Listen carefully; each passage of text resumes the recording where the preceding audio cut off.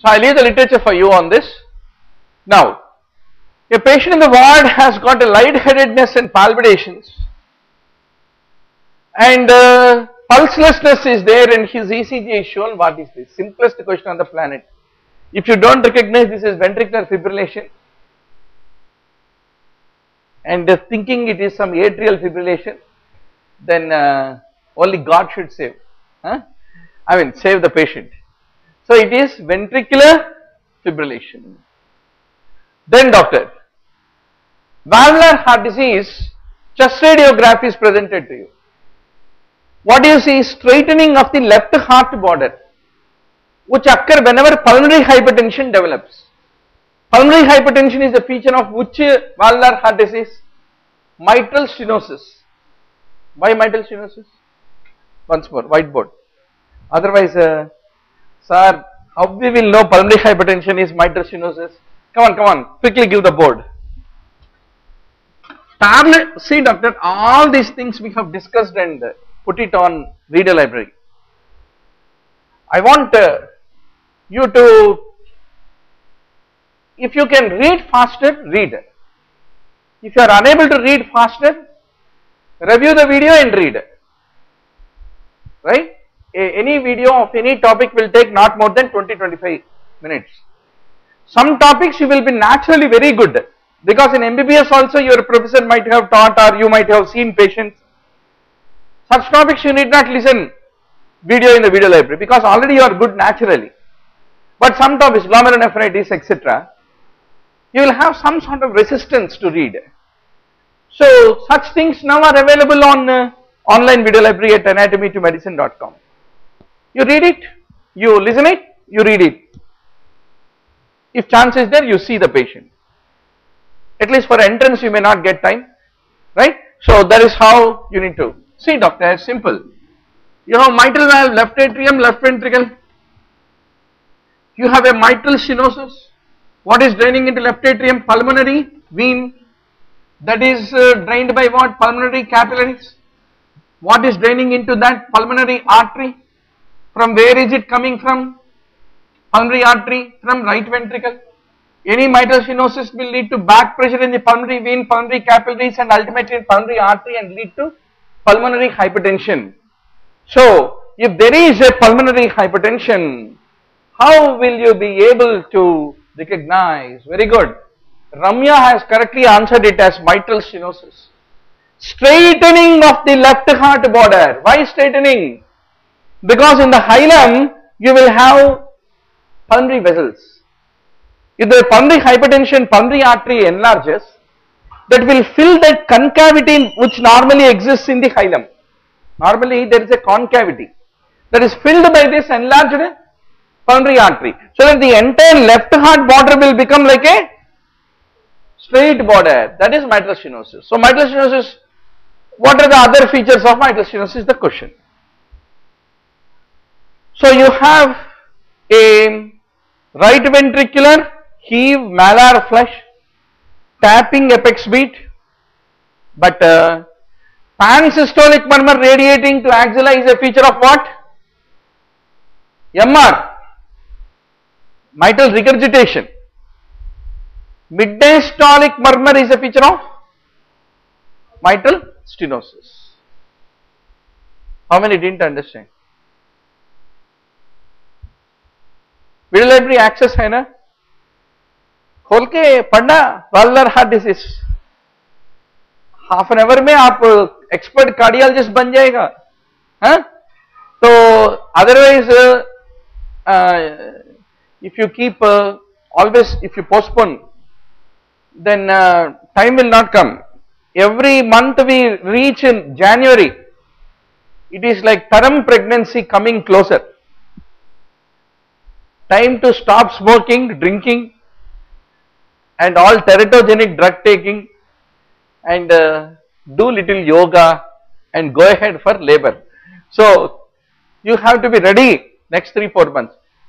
I'll read next week, next week. Don't go into that postponement okay anyway i can't uh, now once more start about uh, mdm and uh, psm at this point psm is pansystolic murmur and mid-diastolic rumble all that is there in the video. 72 year old palpitations, ECG is shown, is not acutely distressed and uh, uh, what would you prefer as a first line therapy?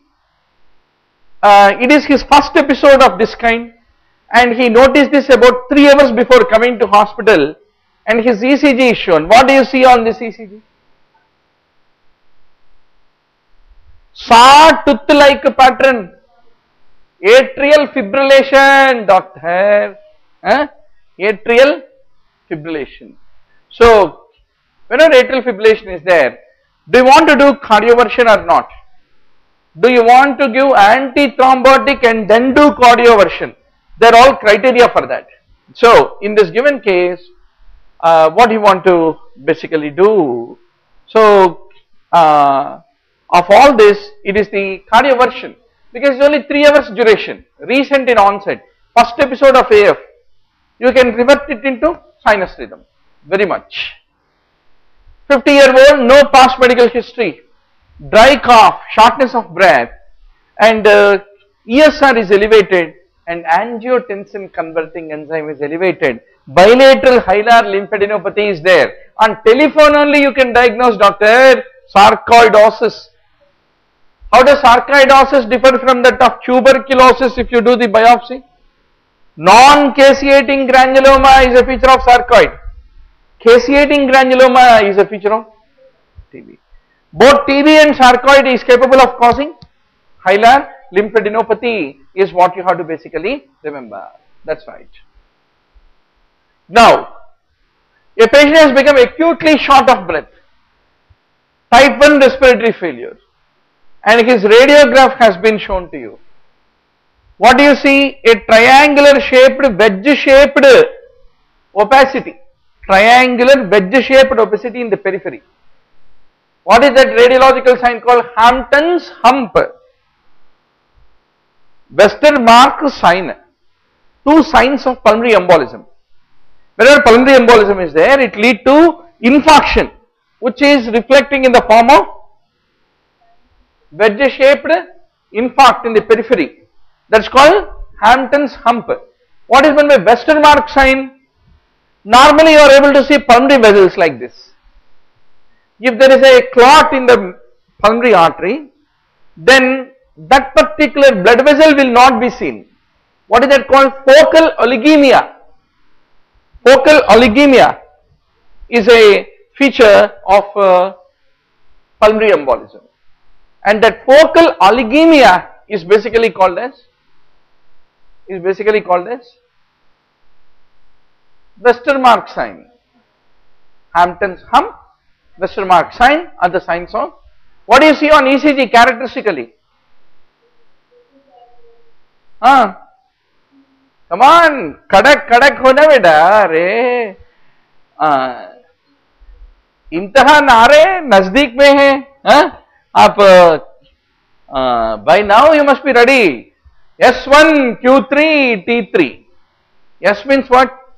A negative wave after the positive wave R wave. Q means a negative wave before the positive wave R wave. So lead 1 S wave. Q wave in lead 3 T wave inversion in lead 3 is called characteristic feature of pulmonary embolism and how do you evaluate that? What is the investigation? CT pulmonary angiography is what you need to basically remember. 45 year old farmer by occupation complains of a gradually enlarging painful mass and you had been given a abdomen imaging. What do you see? Multiloculated appearance. Echinococcus granulosa. Okay is the one which you suspect hydatidosis is uh, the answer. Now doctor, 35 year old from South India complains of episodic severe upper abdominal pain radiating to the back. There is also thirst, polyuria, bulky pale stools means steatorrhea and uh, blood sugar is 180 fasting that means he also developed diabetes and you have done a abdominal imaging which is showing calcification along the course of pancreas.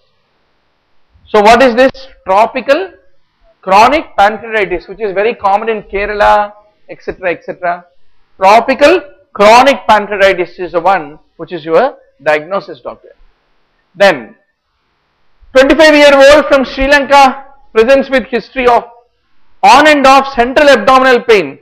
Weight loss is also there. Projectile bilious vomiting is there and uh, he is dehydrated and uh, what do you get? Air fluid levels in the central part of abdomen. Air fluid levels in central part of abdomen means you remember our biology teacher diagram? Small intestine will be central and ascending aorta, transverse aorta, ascending colon, transverse colon, descending colon. So central air fluid levels means small bowel obstruction. So small bowel obstruction, what is the common cause? Tuberculosis in the impoverished countries. That is what you need to basically remember. Then uh, uh, 19 year old colicky abdominal pain, history of diarrhea alternating with constipation and the, on examination patient is pale and uh, the abdomen has slight fullness in the right iliac fossa and there is a lump in the same area and the barium is being shown to you. Follow through. That means barium from the uh, back not not barium meal barium follow through. Then what is this basically?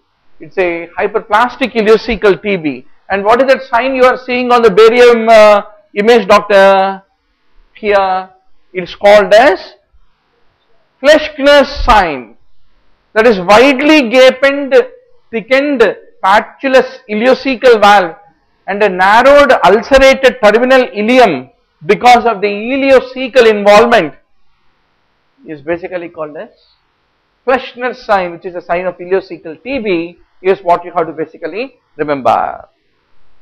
Now doctor, um, a 10 month old girl is being brought with occasional vomiting. In fact, without even looking at image directly, history only you can tell. She is crying. And uh, there is a intermittent pain and she screams flexing her knees and elbows. And uh, uh, there is a uh, currant jelly like stool. And what do you see here? Claw claw appearance because of intussusception. One part of gut entering into other part of the gut is what you have to basically remember. Then a premature neonate has been born with severe respiratory compromise and is on ventilatory support. What do you see in this very characteristically? The gut in the abdomen has gone into the thorax, chest. See, normally do you find uh, the air containing gut in the thoracic area? You will not. Gut is supposed to be in the belly. When will it enter into thorax? If there is a diaphragmatic hernia, so that lead to compression of the lung, compression of the lung leading to the development of uh, respiratory distress is what you have to basically remember.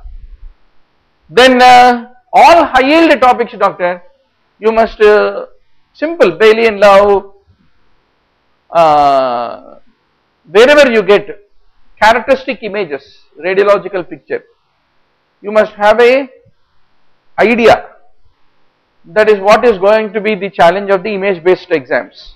Okay? 78 year old with a lump in the anal margin, anal margin. Then you have done biopsy, squamous cell carcinoma is there. What is the treatment of squamous cell carcinoma of the anal area? Chemo, radiotherapy. If you get the clue what examiner is looking for, it is easy to answer. Okay. So that is all the story of the image based questions.